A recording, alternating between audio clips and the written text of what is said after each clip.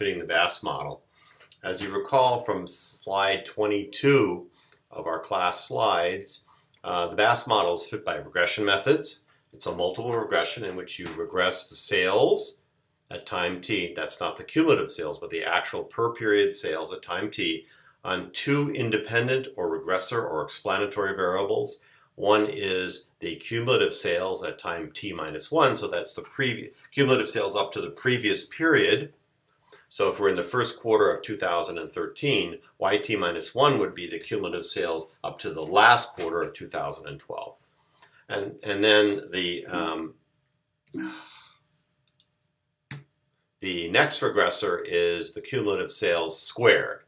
So this is a regression of sales at time t on cumulative sales at time t minus 1 and cumulative sales at time t minus 1 squared with coefficients a is the intercept, b is the slope on cumulative sales, and c is the slope on cumulative sales squared. Given that you fit the regression, you get take a, b, and c, of course, and combine them in these three formulas, first to create m, on the basis of A, B, and C, and then to create uh, the coefficient of innovation P, remember that's a probability between 0 and 1, as A divided by M, and then finally to um, create the coefficient Q, this is B plus P, actually. Um, so that can be done any, in any regression package.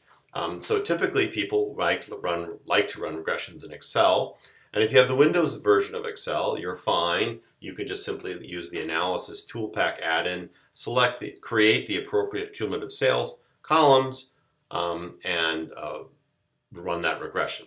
Uh, and then utilize the coefficient estimates from it to, to, to compute M, P, and Q. Now, un unfortunately, if you have the Windows version of Excel, you don't have the Analysis tool pack available to you. Uh, excuse me, did I say Windows Macintosh version of Excel? and you need to find and add in. There's one I think called Stat Pro you can use. Um, but um, what I'm going to show you in this little video is how to use R to compute these. R is the premier uh, analytics uh, and statistics package used in the and, today worldwide. Um, and most companies that are heavy in analytical skills utilize R. They don't use Excel for regressions uh, for a variety of reasons. Excel is not very powerful. Um, the Excel regression method, uh, methods implementation regression has actually got mistakes in it uh, and is very numerically unstable. So it's probably better to run these things in R. Um, although, um, again, this is purely optional material. If you're not interested in R, uh, you can probably turn this video off at this point in time. I'm just going to show you how to use R to do that. So let's switch to the R screen. So one of the most useful ways of using R is through a add uh, a a program development environment called RStudio. If you just Google RStudio, download it, download R. They're all free. They all run on all computers um, for free, um, so you can get this. So uh, let's just, what I'm going to just do is read in the data, which is just a very simple column of numbers in this case, from this file called iPhone underscore sales. So I'm just going to highlight this line this is a text file or script called FitBAS model. I'll also provide that on our course website. Let's read it in.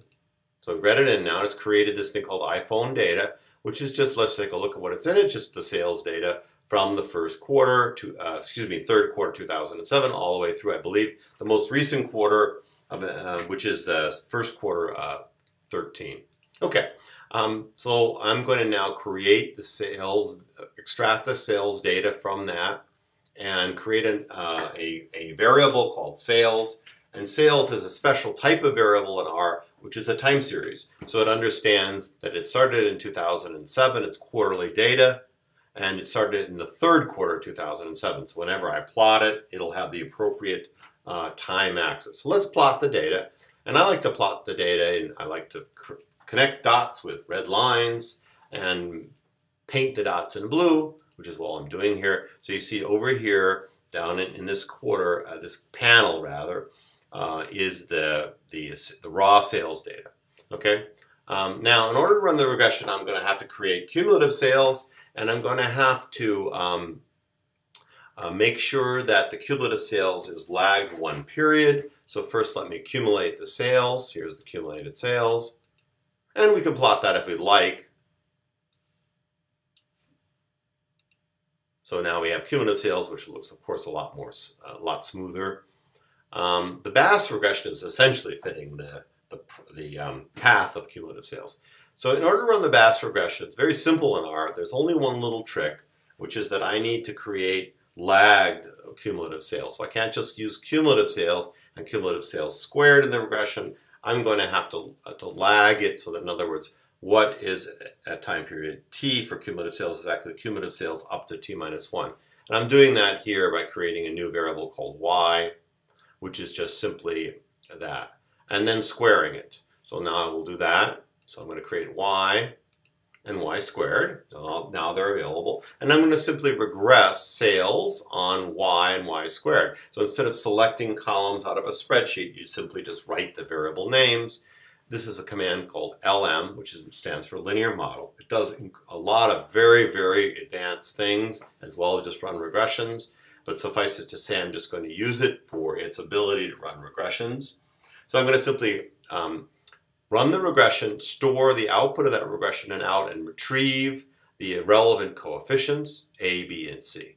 And then, then compute the things that I need to do, like M, P, and Q. So I'm just going to execute all these commands in one fell swoop, simply running the regression, extracting the coefficients, and then computing M, P, and Q. Okay, let's run that. And now I'm going to plot it, plot the the fitted bass model. So you can see here I now have M, which is uh, 829 million. P, the coefficient of innovation, is 0.001.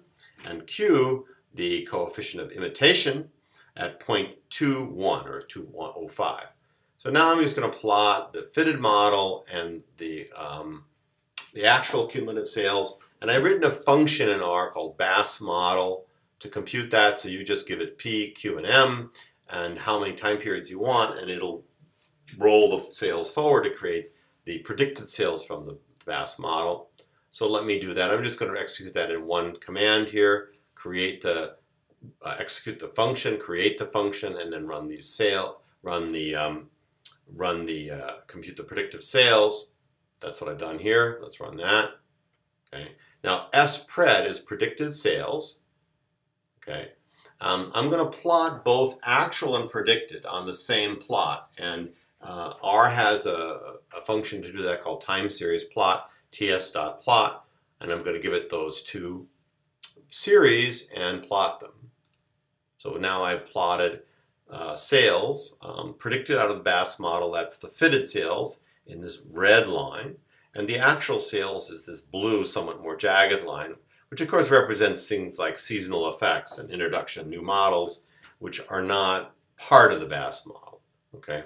Um, okay. So now I'm also going to run this forward um, and look at cumulative sales. So I'm going to predict out uh, some periods in the future and compute cumulative sales. So let me rerun the Bass model, but I'll run it for 100 periods forward, 100 quarters forward. Um, and then I will accumulate the predicted and actual sales and plot those. And this creates what, you've seen in the class notes. So here, here is the predicted sales, um, which is in uh, red, and the actual cumulative sales, which is in uh, blue. And you can see that this, basically the Bass model predicts that um, iPhone sales will peak somewhere around 2015 and start declining to very, very, very rapidly to near zero thereafterwards. And having a cumulative lifetime product sales of 800, a little more than 800 million, which is really quite a remarkable new product. Uh, anyway, so I hope that's found you found that useful. Again, it's optional material for those people who want to learn how to do these analytical things in R. Um, R is free and, and very widely used. So I hope that provides everyone with an incentive to learn R. Anyway, um, bye for now.